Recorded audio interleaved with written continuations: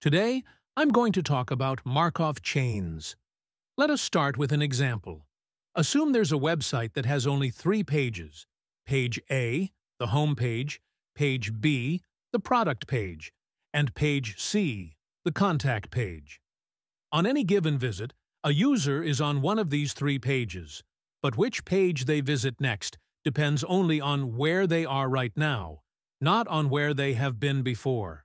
In other words, if we know which page they are on right now, we can predict the likelihood of where they will go next. For example, if a user is currently on page A, suppose there is a 60% chance they will go to page B, a 20% chance they will stay on page A, and a 20% chance they will go to page C. I'm going to represent this in a diagram using weighted arrows.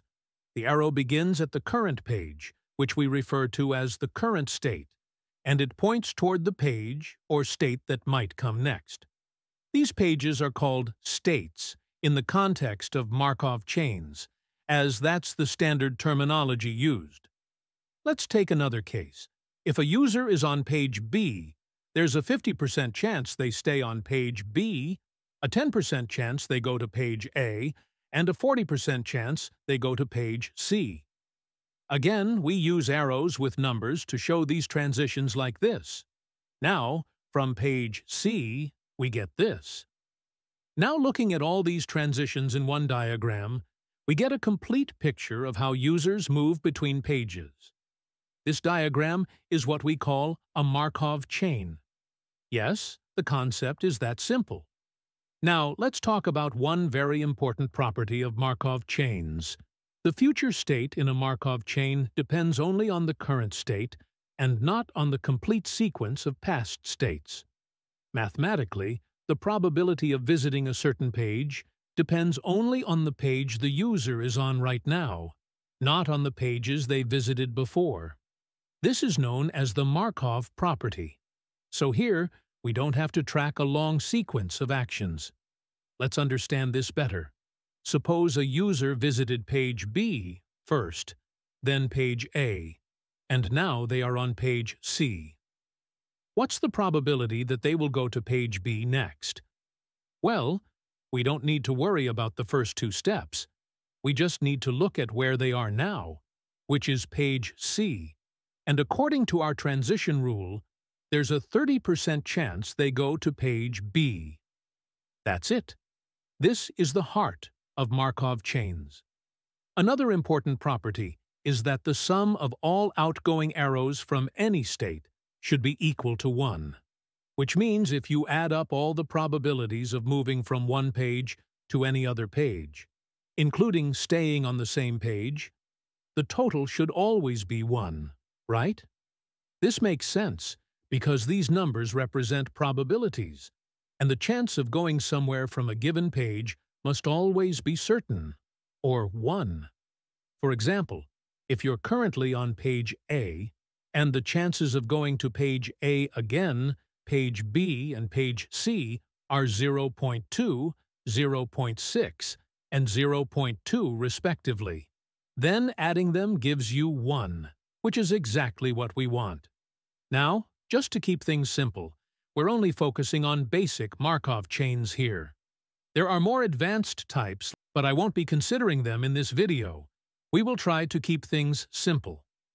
Now that we've got a basic idea of what a Markov chain is, let's try something fun. Imagine we simulate a user browsing the website for 10 steps, starting from page A.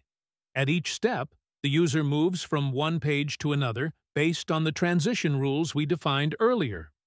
Once the 10 steps are done, we count how many times the user ended up on each page. Then, we divide those counts by 10 to get a rough idea of how likely it is for the user to be on each page. For instance, if they landed on page A four times, page B three times, and page C three times, the probabilities would be 4 upon 10 for page A, 3 upon 10 for page B, and 3 upon 10 for page C. But what if we repeat this process not just 10 times, but say 100,000 times? Will the probabilities keep changing forever? Surprisingly, No. If we run the simulation for long enough, the probabilities tend to settle down to fixed values. This stable set of values is known as the stationary distribution.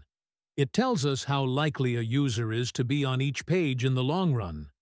And these values don't change anymore as time goes on. Noise! We've managed to get the stationary distribution by running a simulation. But let's be honest, that's not the most efficient way to do it, especially if we want accuracy or need to work with larger systems.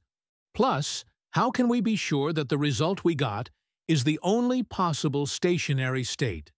Just because our simulation converged to one set of probabilities doesn't automatically mean that's the only stationary state. In theory, a Markov chain could have no stationary state where the probabilities never stabilize. They keep changing values forever, or multiple stationary states, which means we can have two or more different stable distributions that are possible depending on where you start. This is where linear algebra gives us a smarter and faster solution. We can represent the entire Markov chain using a matrix, which we call the transition matrix. In this matrix, both the rows and the columns represent the pages, and each entry shows the probability of jumping from one page to another. For example, the first row, which corresponds to transitions from page A, has values 0.2, 0.6, and 0.2. Similarly, the second row, for page B, is this, and the third row, for page C, is this. We usually label this matrix as capital P. Now let's take things a step further and bring in some linear algebra. We'll create a row vector called pi, where each element tells us the probability of the user being on a particular page. For example, if we assume the user starts on page B, then pi would be 0, 1, 0, since the user is definitely on page B and not on the others. Next, we multiply this vector with the transition matrix P. The result is a new vector that gives us the probabilities of the user being on each page after one step. We can take this new vector and multiply it again by p to get the probabilities after two steps, and keep repeating this process. Now, if a stationary distribution exists, then at some point the vector we get after multiplying with p will stop changing. In other words, the input vector and the output vector will become the same. This means pi times p equals pi. Oh my god. If you've seen linear algebra before, this should remind you of something. Yes, it's the same as this eigenvector equation. When the eigenvalue is 1 and we arrange it this way, we get exactly the condition for a stationary distribution. So, we say that pi is an eigenvector of the matrix P, corresponding to the eigenvalue 1. But since pi is a probability distribution, we also add another rule which says that the sum of the elements in pi must be 1. Of course, I have already explained that before. Solving this system gives us the stationary distribution for our Markov chain. This final distribution tells us how often, in the long run, the user will be on each of the pages. And by solving it this way, we can also check whether there are multiple stationary states. We just look for more than one linearly independent eigenvector with an eigenvalue 1. Isn't that awesome? Now, let's take the result we just found using linear algebra and compare it with the one we got earlier from the simulation. Oh boy, look at that. They match pretty closely. That's a great sign, because it confirms that our understanding of Markov chains is on the right track. By the way, every time you search on Google, millions of pages are competing for the number one spot. But Google doesn't roll dice to decide, it uses math. At the heart of the original PageRank model is a Markov chain, where each web page is like a state in a network, and links act as transitions. If you follow enough links, you eventually land on a stable pattern, a stationary distribution, which mathematically comes from the eigenvector corresponding to the eigenvalue 1. That vector is what decides which pages get the most weight and the one with the highest value wins the top rank. But real-world Google ranking goes far beyond this elegant model. While PageRank was foundational, modern search engines weigh hundreds of signals, not just who links to whom. If this video gets 4,000 likes, then I will make another video on different types of Markov chains and their advanced properties. So